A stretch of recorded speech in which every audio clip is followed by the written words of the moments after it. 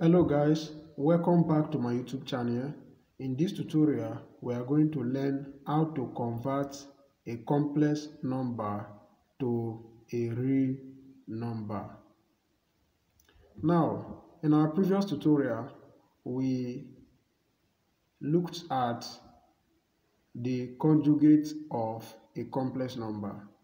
Now any complex number multiplied by its conjugate, the result will be a real number. E.g., if we have a complex number, say 2 plus 3i, the conjugate of this complex number is 2 minus 3i. Now, if we multiply the two together, the result is going to be a real number. Now, we now say 2 bracket this complex number 2 minus 2i which is the conjugate 3i sorry.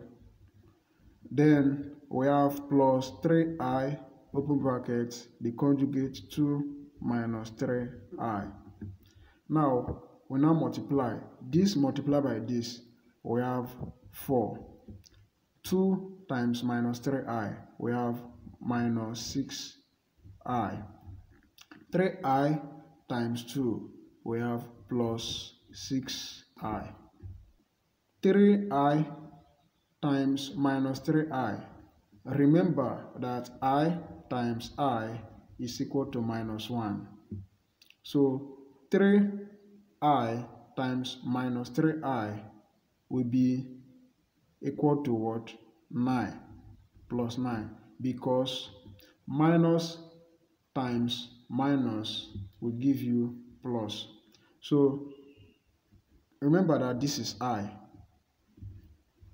So we have 4 minus 6i plus 6i will give you 0. So this will be equal to 4 plus 9 which is equal to 13 which is a real number.